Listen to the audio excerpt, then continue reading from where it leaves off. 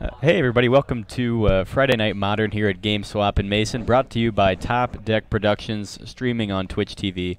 I'm Mark, and I'm here with uh, Brent. Hell yeah. Uh, not my usual co-host Mario. Mario's uh, taking vacation. I don't even know. Mario's I'm second best though. yeah. Brent is at least maybe maybe third or fourth best. Uh, Brent's definitely definitely or good. fourth? Yeah, definitely a top tier uh, comment. Not to be confused with top tier gaming though. Um, Yeah, I am though. but all right, so we got uh we got Mike Basford on Jeskai Control and Logan Reinhardt on. It's actually not correct. Um, we were just talking to Logan about his deck. It's not black red hollow one. It's actually black red Death Shadow. With He- two Blood Moon mainboard, right? I think he said sideboard. Um, I thought he said main. I think he said they're in the sideboard. but Either I, way. but I, yeah, he's so he's got like faithless looting, but he's not playing hollow one. He, he specifically said I'm not playing hollow one. He's playing pack rat, death shadow, a full discard. You know, maybe seven to eight discard spells. Um, I forget there was some. Wasn't there something else he was getting value off with uh, with faithless looting? Oh, he's got blood, Bloodghast. Yeah. So I'm pretty stoked. This sounds fun. Bloodghast seems tough for uh, for Mike to deal with. Obviously, he's got path, but um, Yeah, hopefully he's got path. yeah, but Logan has some some resilient threats and a, a lot of hand disruption. Possibly all eight spells.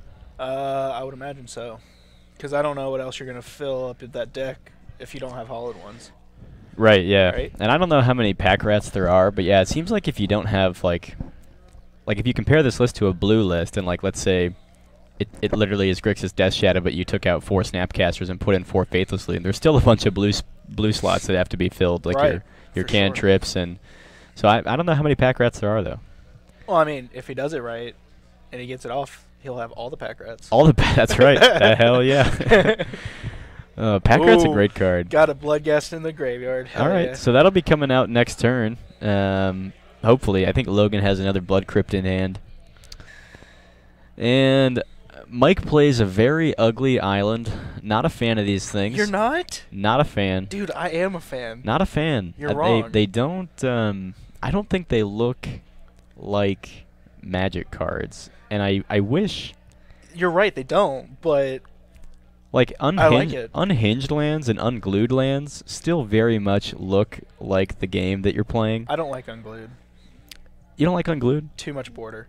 Well, it- well, so if your if your deck is full of mud borders like like OG Magic borders, and you have your you know you have your your unglued lands in there, they they really match pretty well, I think. But but these like look how like on this on this feature match specifically, look at that island how it like like it blends into the T of top deck. You Yeah, know, like it's got T- no but it's the got no border. just that's like- the kind of that's the kind of incest that a border would would stop. You know.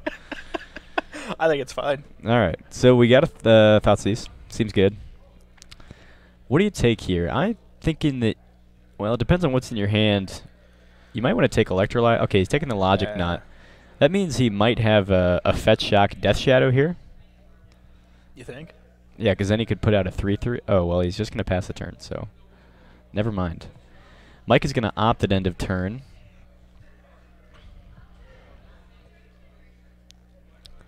You know, I work out with Mike. You work out with Mike? I work out with Mike. I feel like Mike works out a lot. Uh, Yeah. I'm not saying he works out more than you, but well, I mean, uh, I, I kind of go guy. when he goes. Okay. So we're trying to do like four times a week. Yeah, that's that's a lot. And That's he, um. and he even has a certificate to be like a trainer. oh yeah, yeah. I found that out after the f- like during the first day of working out, and I was like, well, shoot. I'm gonna die. Yeah, four four days a week. That's uh. I don't even eat breakfast that many days a week. I never eat breakfast. I get a cup of coffee and say, well, guess I'll wait till lunch. Wow, you're such a man, Brent. I wouldn't go that far. All right, so we got a we got a cycled street wraith. Uh, oh, he he cycled that earlier. Just kidding. Um, tapped colonnade, leaving up two mana. But it looks like the card that Mike drew was lightning bolt. So he's pretending to have a counter here, but he doesn't. I think his plan is to. He has another opt, right?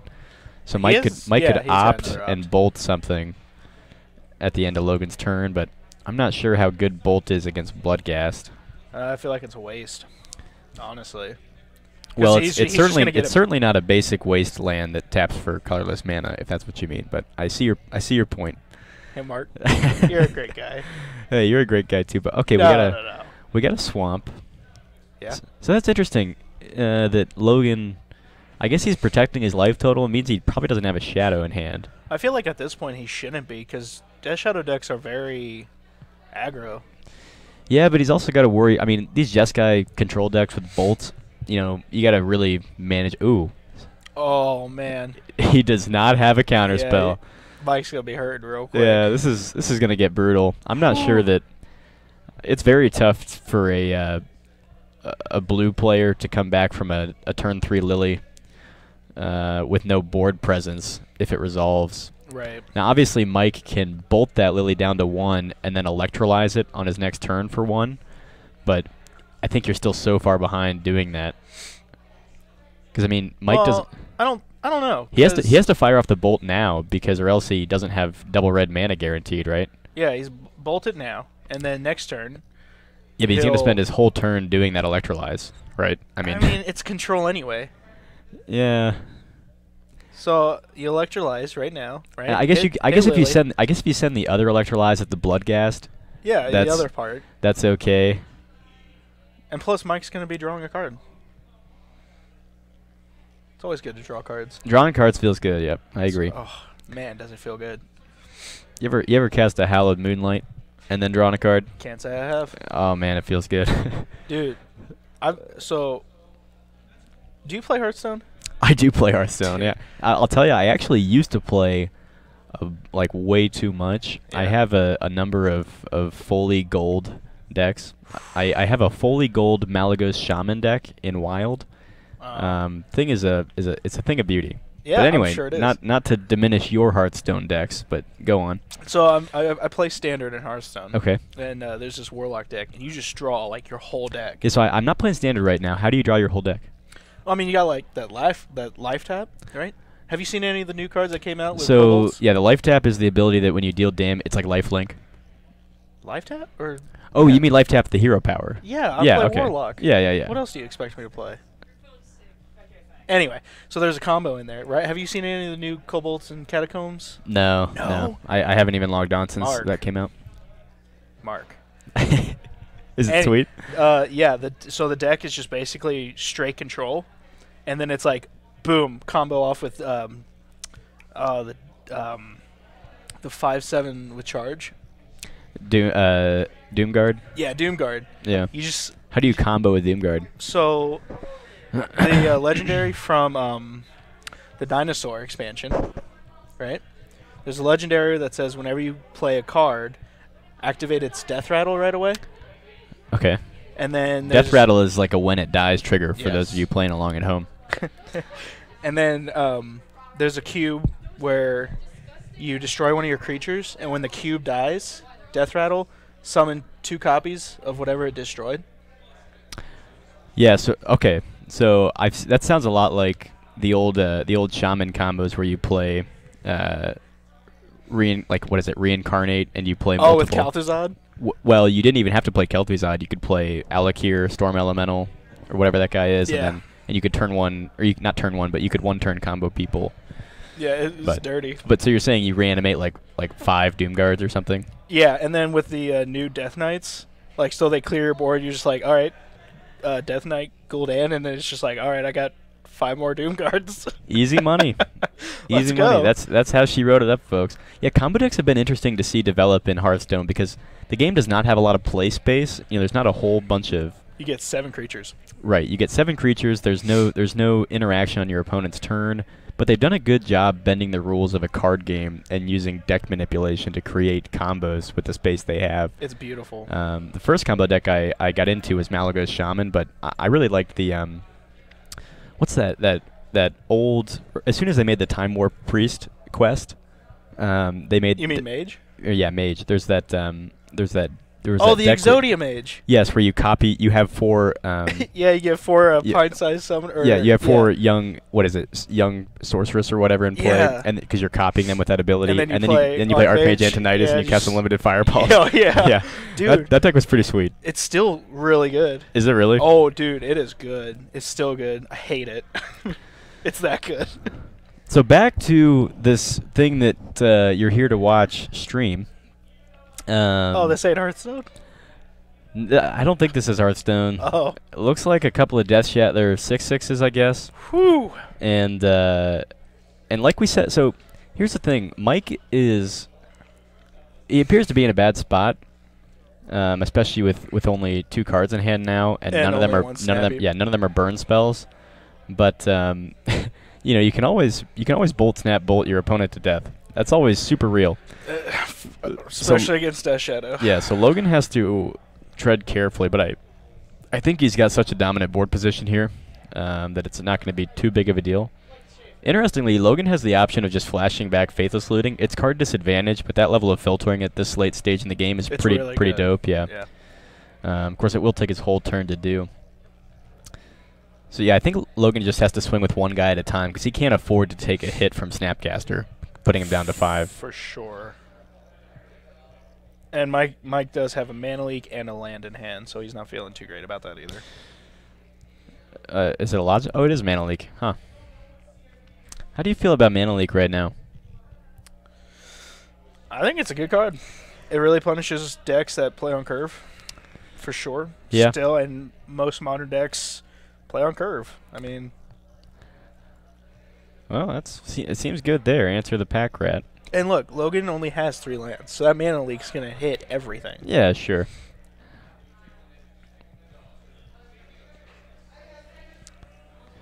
So Mike does have the option of firing up Colonnade. Okay, he's not. No, he he's just scooping. All right, well, not anymore. It would have been interesting there to see Mike hit like a land drop, and because he was at was he at five or six mana? 'Cause at- at some Uh, point he was there-. Okay. That's, there's some point there where he can fire up Colonnade, put his opponent to three, and threaten Lightning Bolt, but not when your opponent has uh, two Death Shadows in play. No. Oh, and looks like we've got a, uh, a full metagame breakdown for you. There's a bunch of crappy decks and one Tribal Zoo deck, so that's uh, that's all that's all we got, folks. We're gonna put on some Tribal Flame Zoo later. Please, please tell me we don't have any Soul Sisters. Michael Ricella is not playing Soul Sisters today. There was another one the other night though. Oh, really? It's it's Yeah, I spreading. saw it. we should we got we got to get the Center for Disease Control on this. It's it's spreading like a plague. No mono blue Tron. I don't see any Tron.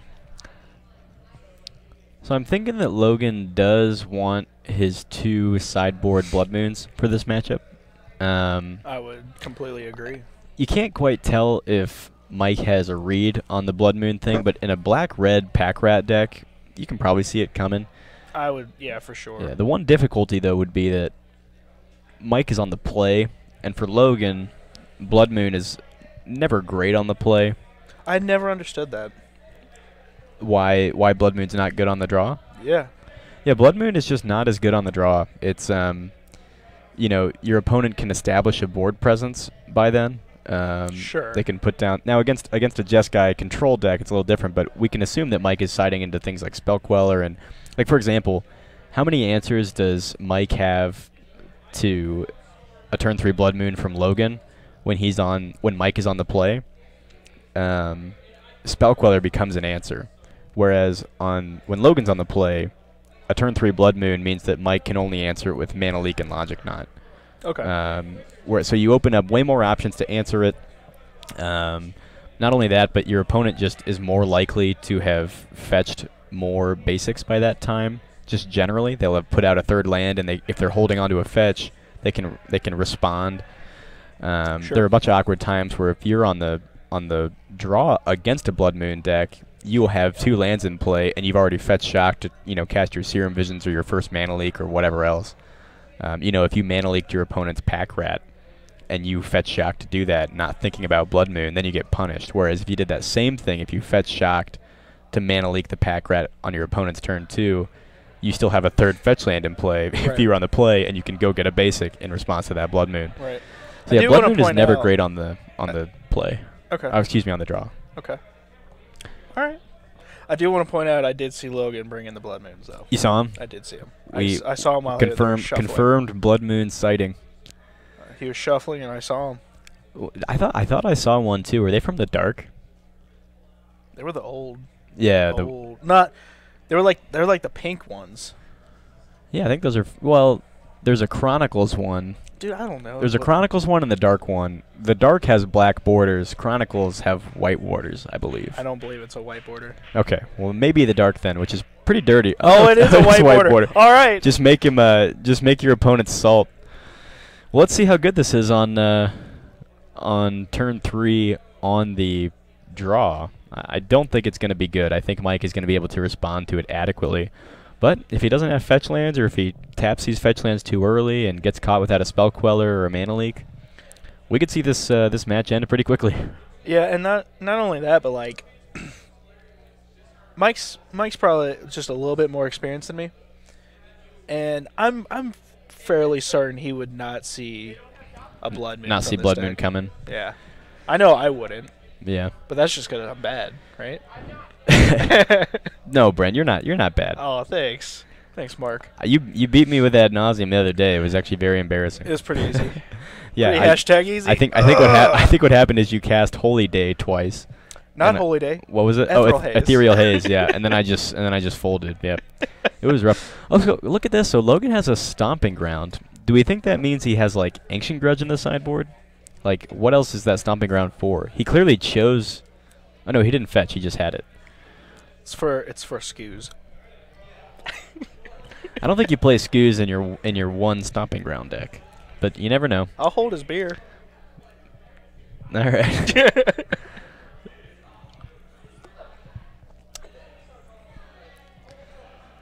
so it looks like Logan's still deciding what to discard. He's digging for a land. He is digging. Don't. I don't see. I don't think I see another land in his hand.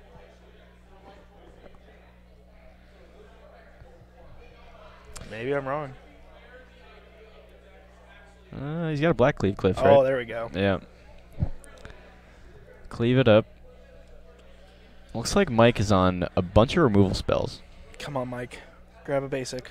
Oh, he's grabbing a basic. So I actually, do you think that Logan can afford to Blood Moon if he doesn't? Oh, is that a Verdant Catacombs?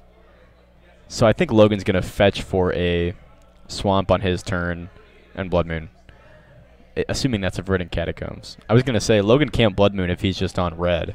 Like it'd be, it seems very dangerous that for would him be to. pretty bad. Yeah, that'd be pretty loose if he Blood Mooned and just had red. Now, obviously, he could still flashback his Faithless Lootings and all that. But right, but he he won't be able to cast uh, lilies because he he only has one black. Right, yeah, he'll right never cast Lily. Now, I it's unclear. I wonder how many swamps Logan's playing. I could see him playing two, but I could also see him playing like four or five. I would imagine it's a high amount since he has blood moon in the sideboard. Yeah, but it's also like a really low land deck, you know. And he has Blackcleave Cliffs. I Like to me, that know. Blackcleave Cliffs should be a a swamp, you know. But I don't know, especially if you're actually playing Death Shadow. I mean, as of what I'm seeing is yeah, there's not a whole lot of red in the deck. But who am I to say, right? Who who are you to say? I'd like to think I'm Brent. All right, we got a Geist of Saint Traft. That could get Um, that makes Blood Moon look a lot worse. but I think we have to. S- I mean, yeah, Logan's got to fire off Blood Moon anyway. yeah. If he Blood Moons his opponent here, all Logan has to do is stick a threat that's bigger than a two-two in front of this uh, in front of this Geist, and Mike may not ever answer it. Now, Logan would probably rather have a Liliana here than a Blood Moon, but Blood Moon still seems fine. Oh, Did you see? You see Mike, there? Mike was Mike- ready. Yeah, Mike was about to sack his his Yeah. Geist because he thought it was a Lily. Yeah. Oh, just brutal. Hey, he's got a bolt though. He does have a bolt. So hey, He does have a bolt. So if if Logan puts out a three three Death Shadow to get to get in front of this uh, bolt. this Geist. See, this Blood Moon is still pretty good, but imagine if Logan were on the play and Mike would have no chance of casting this Geist. Right? Okay. Yeah, I see it. But hey, Mike's still getting punished. But the other thing too is, is Oh, there we go. 4 4 Death Shadow. uh, How does it feel, Lightning Bolt? How does it feel? feels pretty bad, man. this one might just be over. Dude, you gotta believe. You gotta believe. You gotta believe. Now, Mike can bolt the um What did you just draw? Another Geist? yeah. that's another Geist. so Oh. Mike if if Mike decides to swing with Geist here and Logan blocks it, Um, Mike can bolt the Death Shadow, but I wonder if in that case it's better for Mike just to try to bolt his face because Logan's going to be down to five life Right. because he'll take the four from the Angel. So I think maybe threatening that bolt of face is actually just better than threatening the Death Shadow. I think I would hold the bolt Right. until Mike knows for sure. Yeah, Like, don't screw Death Shadow. but I, I say you, I say you swing here to get the four damage in now For over the over the top Absolutely. because right now Logan doesn't have any. An- Logan has no other black mana, and there's no red answer to that four four Angel. Yeah, so Mike's gonna make that play. He's gonna block with a shadow, Don't bolt it. take four in the air, Don't go to bolt it, Mike. five. Yeah, I, th- I I think if you're Mike, you save that bolt You save that bolt. because he See, had if even there was has no the. Blood Moon, Mike would have just won. He's got Lightning Helix too. Sure. Yeah, if Mike if Mike just draws a planes, uh, yeah, this game's over. But you never know. Though we might see. Ugh. Okay, so now he now he has a definite clock. So yeah, bolt him end of turn, seems good. Now you're hoping for. Oh, you can't do electrolyze either. You just need another bolt. Oh, yeah, that's rough. Oh hey, Mike's one step closer to going to the bar. Sure. All right, well, uh, folks, we got about 30 minutes left. Um, we can try to find another match for you. Um, we got somebody playing Wizards. I don't know if that just means that they're playing Dark Confidants and Snapcasters, but No, dude, they're from Wizards. oh, they're from Wizards of the Coast. Yeah, that could be. That could be. I doubt it. Who would want to come to Ohio? Ohio is a great state. I no, honestly, I love it, but Wonderful everyone like state. talks bad about it all the time. I'm like, no, it's great. Yeah, people like to talk smack about states they know nothing about. You know. Um, No, I'm talking about the people who live here. Well, people who live here, well, that gets you know the first problem is that Ohioans are, are just not very smart. So, that, so that's Hey, I'm, we're I mean, not I'm- Kentucky. I'm from Indiana, so We're I, not. uh, we're not Kentucky though. Okay. yeah, Kentucky's uh, got some some larger governmental issues. Right. Anyway, let's let's not go into that. So um, no, let's get political next we're round. gonna we're gonna go to we're gonna go to our players and see if we can find another match for you that's sideboarding, and maybe we'll get some wizards. Um, that could be. A, I wonder if that's a Docent of Perfection deck. Do you know that card? no. That's the uh, the final form of Delver. Okay. You know how Delver has they they ended up doing a complete cycle. There's the one mana that flips through a three two. There's the guy that flips to a four three, I believe, Okay. and then there's a guy that flips to a six a five four or a six five. There it is. Yeah, th- these this is one of the sweetest like mega cycles they ever did.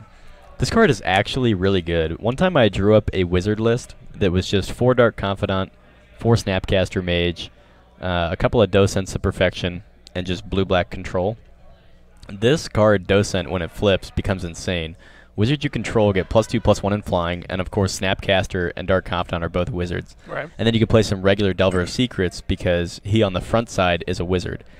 What's cool about this card is that it actually makes your unflipped Delvers into three twos, right? Into three two into three two flyers. Yeah. That's the intent of the card is that it's the final it's the final perfected form.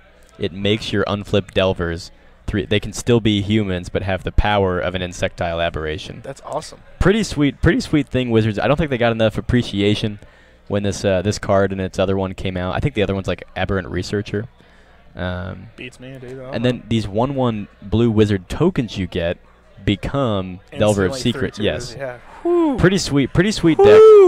Yeah, we're getting Aberrant Researcher up on the board here. This card is just just magnificent. Um, not nearly as powerful as Docent of Perfection, but uh, still pretty cool. So, yeah, one of my one of my favorite things to come out of the uh, the Shadows of Innistrad block.